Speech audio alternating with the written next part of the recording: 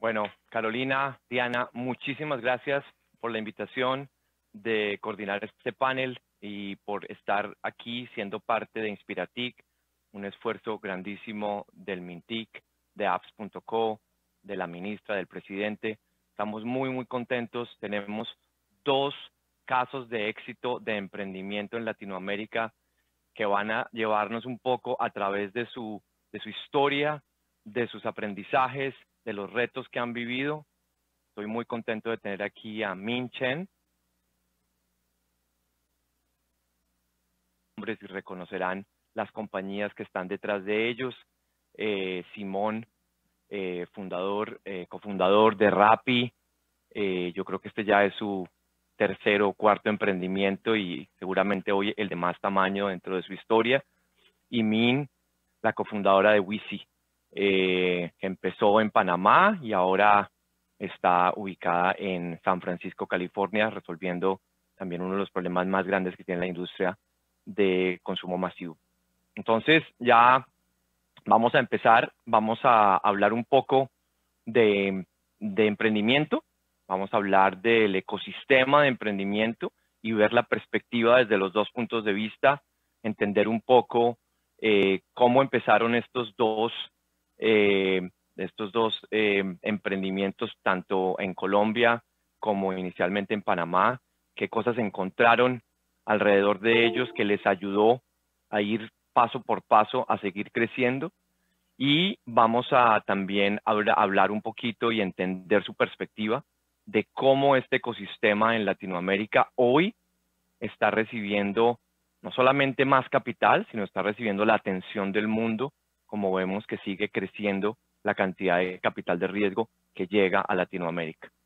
Eh, desde mi lado, siendo eh, un, eh, perteneciendo a uno de los inversionistas más grandes en tecnología del mundo, somos realmente conscientes de que la región hoy es, es muy importante en contraste con lo que está pasando en el resto del mundo. Entonces, Empecemos rápidamente, una presentación muy corta, Min. Cuéntanos sobre ti, sobre Wisi y, y, arranquemos con esto. Muy buenos días, gracias Javier y gracias Mintic por la invitación. Saludos desde San Francisco. Eh, como mencionaste, soy una de las cofundadoras de YC. Tengo 20 años de experiencia en transformación digital.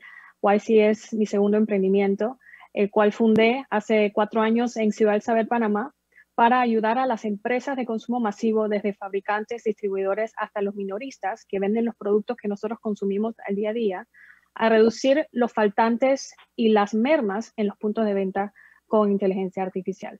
Tengo una formación en ingeniería de sistemas de Carnegie Mellon University y luego una formación de negocios de la Universidad de Berkeley en California. Fantástico, Min. Muchísimas gracias. Simón, el turno para ti. Cuéntanos sobre ti, sobre Rappi. Gracias, Javier. Un gusto estar contigo y con Min compartiendo el panel. Em, bueno, sobre, sobre mí muy rápido, eh, estudié administración y mientras estudiaba administración me di cuenta que todo lo que iba a necesitar necesitaba algo de código. Entonces en las noches aprendí a programar pequeñas páginas web y, y programitas y gracias a eso inicié con 700 mil pesos, imaginamos que se volvió un estudio de software muy reconocido. Em, y, en, y, gracias a Imaginamos y gracias a trabajar con, con muchos emprendedores, de Imaginamos comenzaron a salir otras compañías. De esa, con mis socios Felipe Villamarín, Sebastián Mejía y otros muy importantes como Andrés Bilbao, como Guillermo Plazas, inició Rappi hace cinco años y, bueno, ha sido un aprendizaje muy bonito estos, estos cinco años de, crecimiento en la región. Gracias, Simón. De nuevo, esto es, esto es muy interesante ver, ver cómo eh, los, los caminos de los emprendedores son diferentes, pero de alguna manera eh, vamos a ver a, lo largo de esta charla cómo hay cosas comunes eh, que fueron seguramente las, las razones de su éxito. Entremos en materia. Yo creo que tenemos que empezar a hablar, como decía yo, de Latinoamérica. Todos sabemos que en el mundo en los últimos 5 o 10 años ha habido un flujo de capital de riesgo gigantesco para empresas de tecnología, particularmente cuando somos conscientes de que hoy el mundo está en el inicio de lo que nosotros internamente en llamamos la revolución de la inteligencia artificial. Y tenemos aquí dos compañías que utilizan precisamente la ciencia de datos, la inteligencia artificial, para transformar industrias, para hacer eh, cambios eh, estratégicos y que generan eh, disrupción en, industrias como, como es el, el consumo, como es la entrega de comida, como es el transporte, muchísimas cosas. Entonces, esto está pasando en el mundo, en Norteamérica, en India, en China, la cantidad de dinero que llega a estos emprendimientos es gigantesca. Hablemos un poquito de Latinoamérica. Cuéntenos desde el lado de, ustedes, ¿qué ve un inversionista que está mirando dónde poner su capital? ¿Qué oportunidades existen y por qué Latinoamérica debería ser el lugar donde ellos vienen, aprenden, conocen, investigan y terminan poniendo capital? Empecemos con Min. Cuéntanos cuál es tu opinión sobre esto.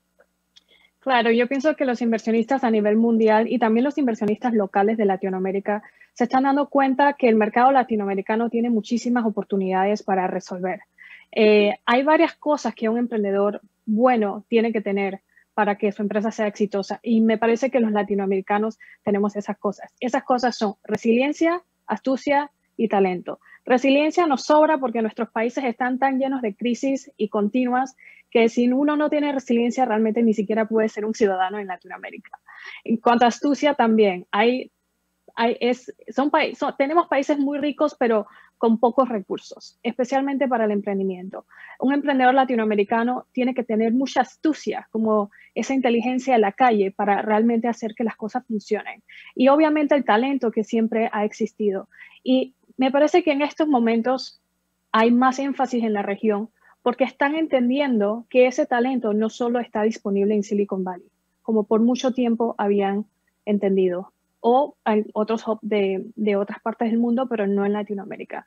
Y además de eso, que el mercado latinoamericano es un mercado en crecimiento, es un mercado grande, es un mercado complejo, que se necesita talento local para poder navegarlo y ser exitosos definitivamente, 100% de acuerdo contigo. Me gusta ese término astucia, ¿no? En Colombia le decimos a la gente ser, ser vivo, ¿no? Es como tratar de buscar una manera de resolver problemas, de pronto no de la manera tradicional, ¿no? Simón, ¿qué opinas de esto? ¿Qué, busca el inversionista extranjero en Latinoamérica y qué encuentra? Bueno, creo que lo, lo, lo primero es el, es el tamaño del mercado. Tenemos una economía que es prácticamente la, la, mitad de China. Tenemos el mismo eh, Producto Interno Bruto per cápita que China y eso lo hace de un potencial enorme. Creo que el mismo China, después de las batallas que está teniendo en, en, en el sureste asiático, el, siguiente como battleground va a ser Latinoamérica y aquí está la oportunidad para construirse pues todas estas grandes compañías.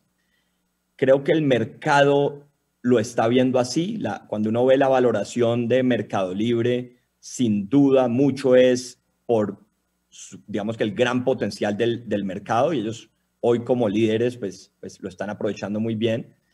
Entonces, eh, creo que, creo que ya, ya, ya las puertas están abiertas y, y es ahora un tema más de los emprendedores comenzar a quitarse las barreras mentales y comenzar a, pues a, actuar y a generar oportunidades como lo hacen en otras regiones con la misma ambición, porque cuando pues, ya digamos que el dinero está listo, Necesitamos esos emprendedores con esa ambición y visión grande para que los fondos digan, bueno, podemos creer en este equipo que no está pensando en hacer algo grande a nivel Medellín, sino algo grande a nivel Latinoamérica o mundo.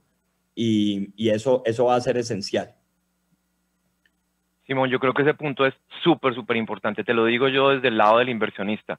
La ambición es posiblemente el factor que nosotros le damos más peso cuando estamos mirando eh, dónde poner capital.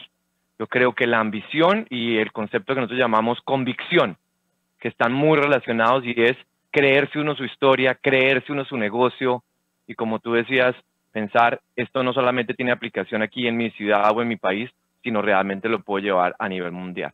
Min, cuéntanos un poquito de, de, cómo fue eso en tu caso. O sea, tú sales de la ciudad del saber en Panamá y hoy estás en la mitad de Silicon Valley. Eso para mí es convicción, eso es ambición. Cuéntanos cómo fue ese camino.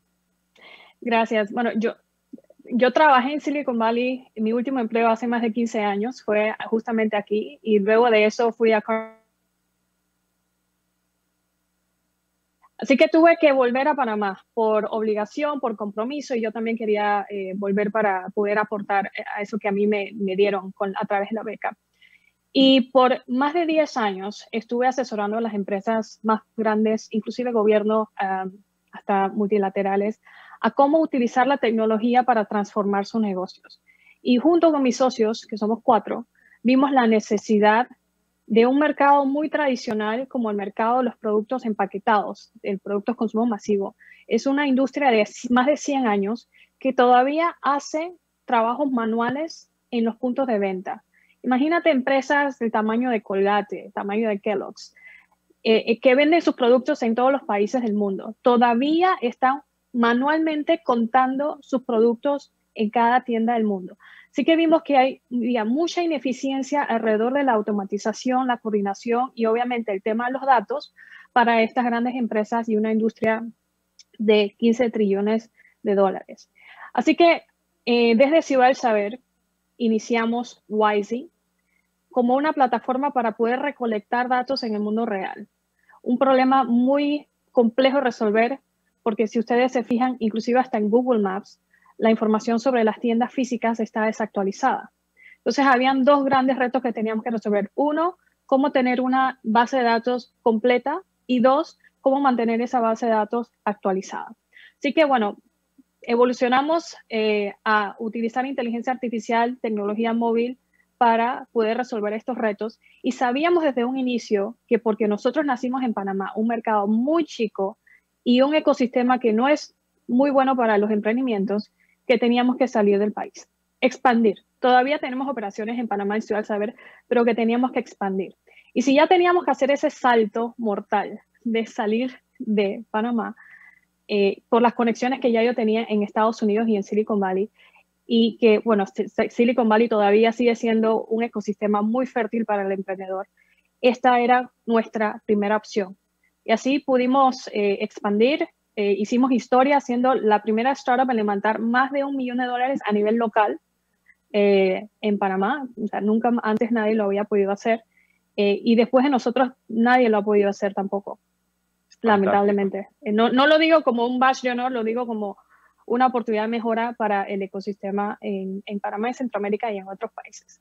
Así que bueno, aquí estamos y hemos crecido desde que me mudé aquí hace ya casi dos años, hemos crecido exponencialmente, ya estamos eh, siendo respaldados por Nasdaq, SAP, Google y estamos vendiendo en todos los continentes en el mundo.